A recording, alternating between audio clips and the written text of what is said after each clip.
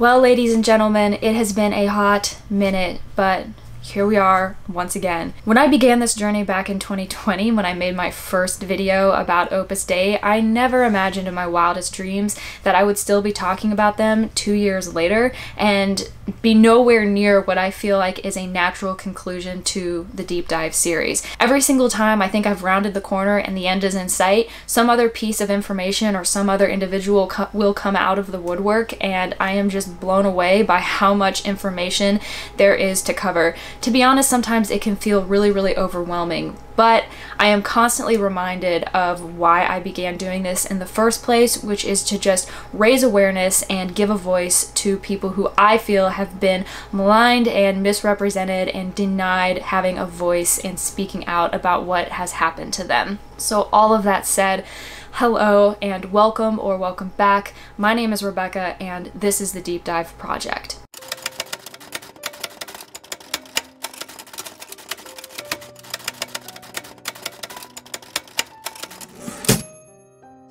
Obviously, some things have changed since my last video, which was all about Opus Dei's involvement in something known as Operation Gladio. And if you haven't seen that, I really think you should go back and check it out. It's a really good history lesson about a period in world history that I think more people should be familiar with. But when I posted that video, it was over on my main channel. And since then, I've basically split my content in two because I realized there was a lot of dissonance between my lighter hearted vlog style content that I love to do and this heavier deep dive style content that I feel really passionate about. And so in order to streamline things and keep things simple, I decided to move the deep dive content about this particular topic and any future topics I decide to cover over here to this channel. And going forward, this is where everything will live. But that's why if you go back and watch the earlier videos, it still has my intro and my handle for my main channel. I know that can be a little bit confusing, but in the interest of just keeping everything simple and clean, I really felt like moving everything over here was the right move. Now, all of that said, since it has been so long since I dove into the twisted world of the Opus Dei cult, and yes, I say that without reservation or misgivings, um, you can check out my video on Opus Dei and the bite model if you want to understand why I say that. I thought we would take some time to catch up on the work and see what they've been up to lately. Shortly after I began researching Opus Dei, I created a Google alert for keywords related related to the organization. And it depends on the week, but generally I get about a half a dozen hits delivered to my inbox. Not all of it is worth taking a second look at. To be honest, most of them are complimentary articles written about Opus Dei by Opus Dei, and it's quite a bit of an echo chamber effect, but every once in a while I get a gem that I might have otherwise missed. So in this video, we are going to talk about how Opus Dei has been represented in the press within the last several months to year and what I think can be deduced from that. So buckle up and hold on because it's a pretty interesting ride.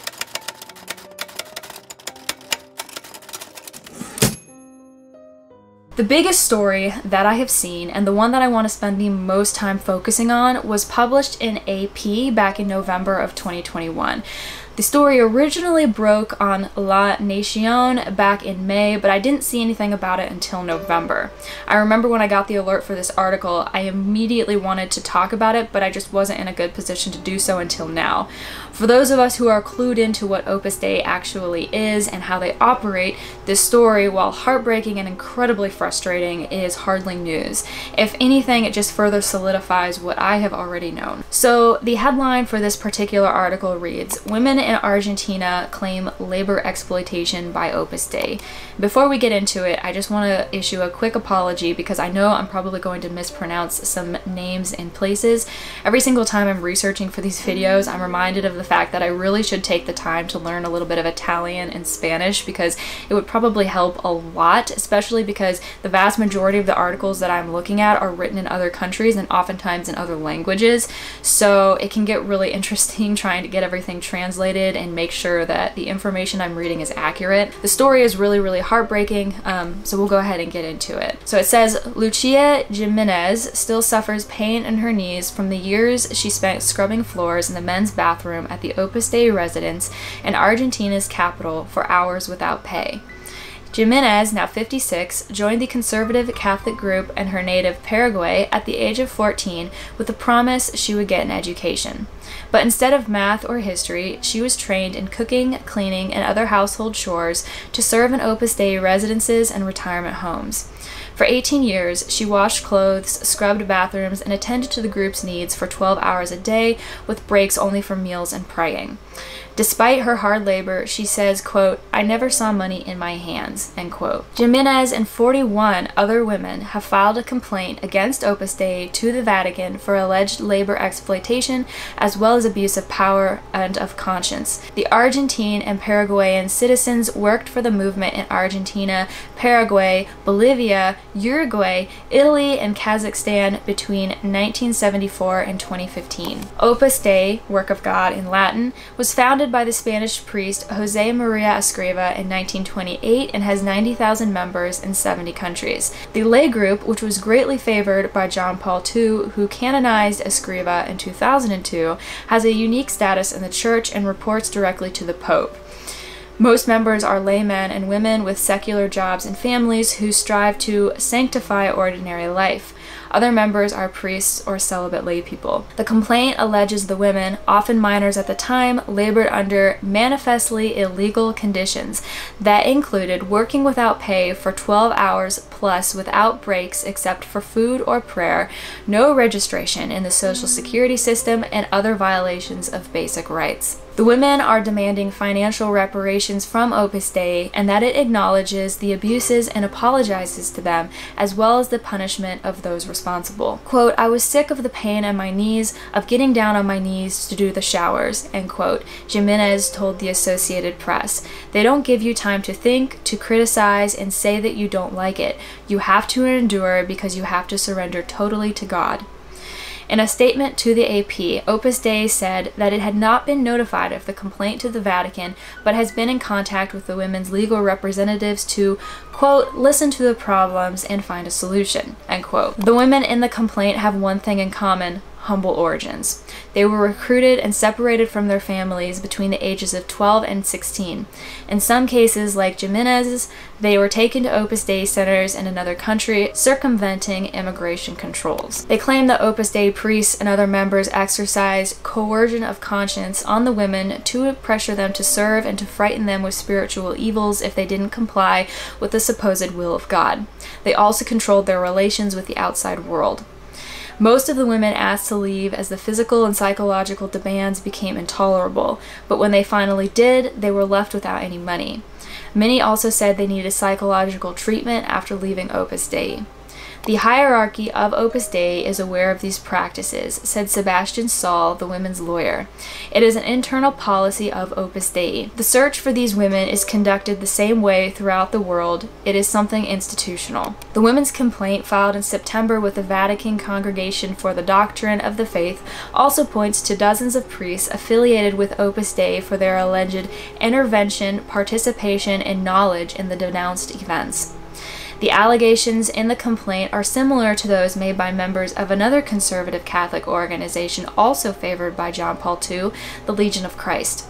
The Legion recruited young women to become consecrated members of its lay branch, Regnum Christi, to work in Legion run schools and other projects. Those women alleged spiritual and psychological abuse of being separated from family and being told their discomfort was God's will, and that abandoning their vocation would be tantamount to abandoning God.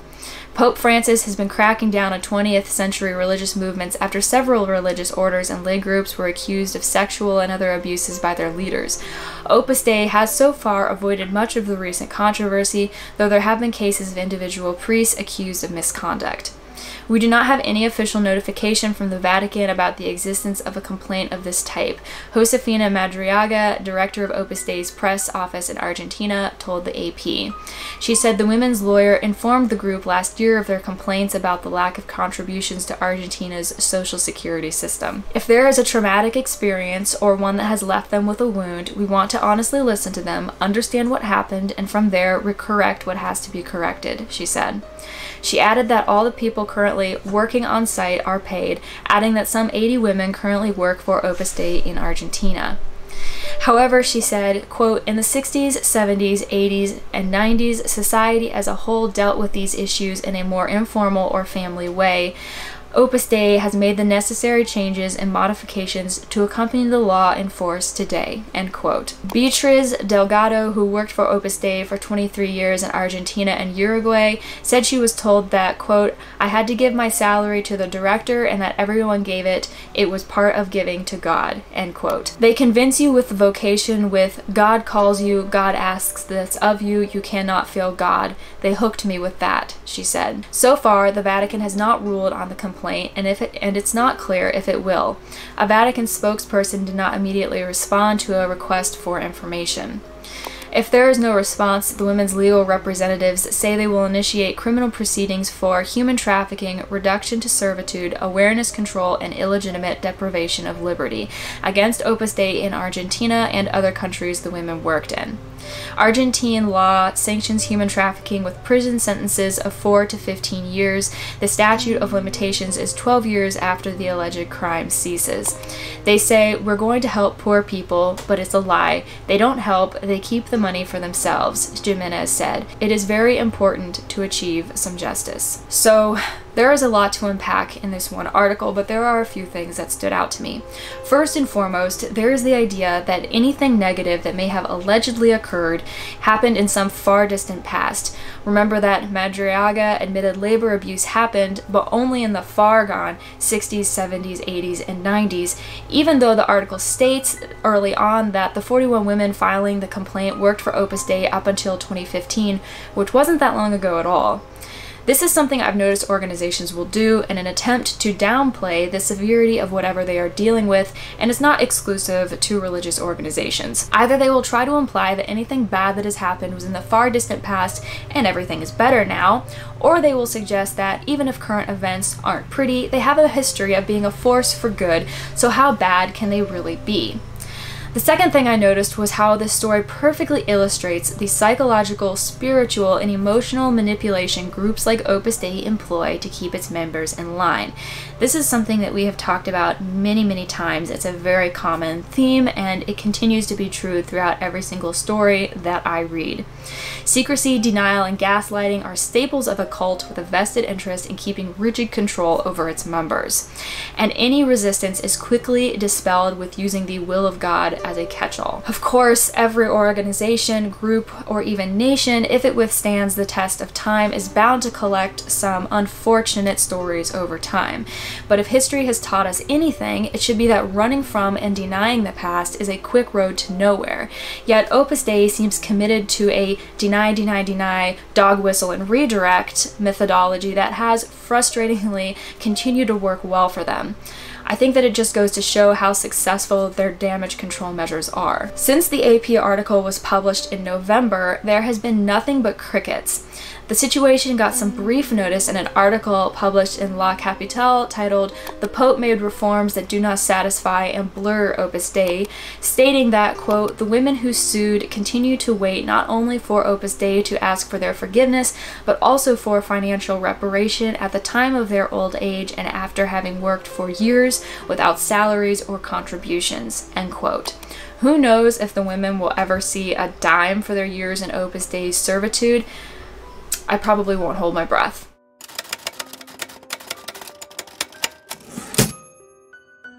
Interestingly, that same article goes on to discuss changes the Pope made to the chain of command in the Apostolic Constitution. It is relevant to this video because in what has been perceived as a slight, the Pope withheld appointing the current Opus Dei prelate a bishop and decided that the work will no longer report to the Congregation of Bishops but to the Dicastery for the Clergy.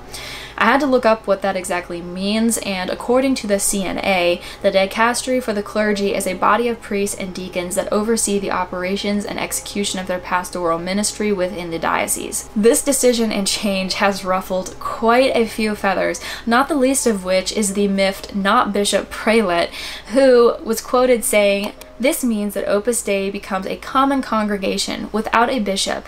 It implies that jurisdiction over its people is removed. It is as if a military bishop no longer commands the military. So what Opus Dei does now will depend on the bishop of the place where it is. This does not automatically mean an intervention of the bishops, but they can, by the new canon law, order some work for them and the opus must obey. End quote. In essence, this decision removes quite a bit of authority over the work from the prelate and transfers it to the bishop of the archdiocese and Opus Dei center may find itself in.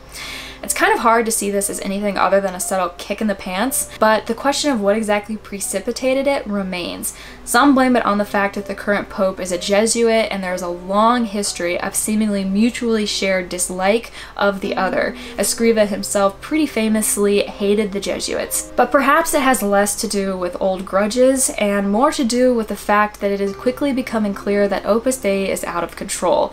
Up until now, the organization has enjoyed a uniquely independent status as a personal prelature, but in light of the most recent allegations being levied against the cult by the Argentinian women, I have to wonder if this decision is a punishment and a thinly veiled pontifical threat.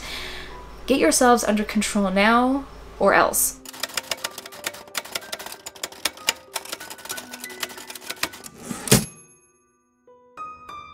These changes come on the heels of headlines such as Spain's church seeks to add credence to inquiry of alleged child abuse one month, and then Spanish bishops say they won't participate in national clerical abuse inquiry the following month, which is more than enough to give anyone a bit of whiplash. And I don't think any of us would really be that surprised to find Opus Dei in the midst of it all. In February of this year, Reuters reported that Spain's Catholic Church was seeking to give more credence to an investigation into the alleged sexual abuse of minors, indicating indicating at the time that they were eager to allow any victims to have representation and a day in court.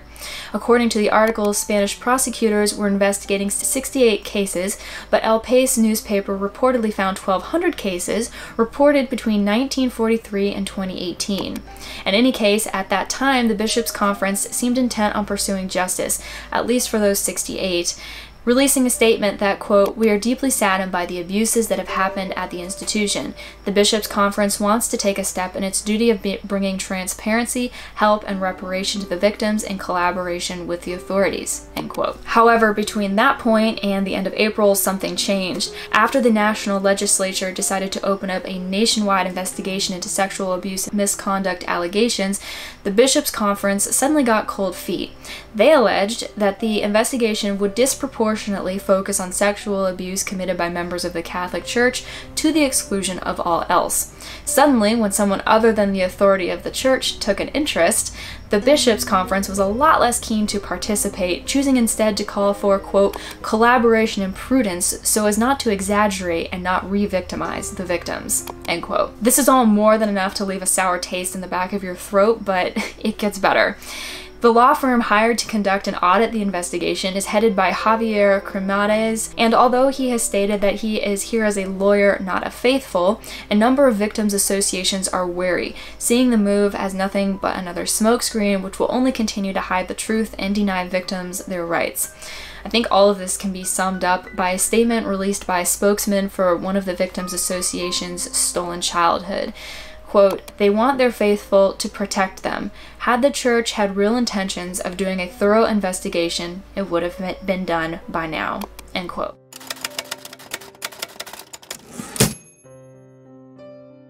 Now, I want to go on record and state that I'm not necessarily accusing Opus Dei, or the Catholic Church for that matter, of having a vested interest in keeping the sins of the past tightly under wraps. But while the situation in Argentina and Spain play out across the globe, the Filipino Church is having its own open mouth insert foot moment with an Opus Dei undercurrent. In March, the bishops issued a letter condemning an election candidate's efforts to whitewash abuses committed during an era of late dictator Ferdinand Marcos Sr. They did so on the anniversary of the People Power Revolution, also known as the EDSA Revolution, which commemorates a series of demonstrations in the 80s which were organized to protest regime violence and electoral fraud. It warned Filipino Catholics not to be swayed by propaganda, claiming that the martial law years were golden years in Philippine history, which is relevant since the propaganda is coming from the camp of presidential frontrunner Ferdinand Bongbong Marcos Jr., the dictator's son. An Opus Dei priest and newspaper columnist Father Roy Amora Cimagala criticized the bishop's letter, choosing to call it divisive and rebuking the bishops for daring to have an opinion on the political future of the country. This is all very ironic, considering the proactive role Opus Dei likes to play in politics. If you don't know what I mean, go back and watch my video about the work's involvement in American politics, as well as the role it played in the Chilean coup to overthrow Salvador Allende and many other nefarious activities in South America. But following in its founder's footsteps, Opus Dei has always been believers in the do as I say, not as I do methodology. So wrapping all of this up in a tidy bow is going to be difficult, but the articles and stories presented in this video do prove one thing that regardless of what Opus Dei says, the organization continues to be as polarizing and divisive as ever, and as more and more people speak out about the wrongs committed against them while they were in contact with the work, that probably won't change anytime soon.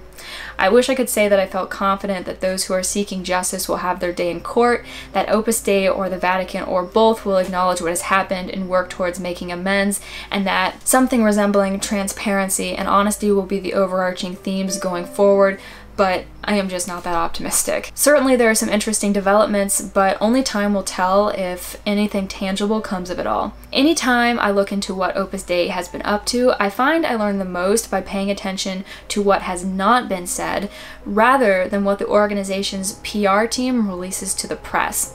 So if you read between the lines like I do, you're probably drawing a lot of the same conclusions. Either way, thank you for watching this video. If you enjoyed it and would like to see more news update type content like this, give this video a thumbs up and that'll let me know. This is definitely something that we could do every three to six months or so because I find that there is quite a bit of press that put gets put out, but people probably just don't see it unless you have a Google alert like I do. And if you haven't already, please consider subscribing to this channel. My goal is to devote more time to content on this channel specifically, so if you are in favor of that, subscribing is an awesome way to support me and my efforts. And before I let you go, I just want to say thank you to each and every one of you who has continued to reach out to me and share your stories and your perspective and express your gratitude. I would hope it would be obvious that I am not doing this for any kind of clout or notoriety. It's simply a need that I feel needs to be filled by somebody and I am more than happy to try to step up to the plate.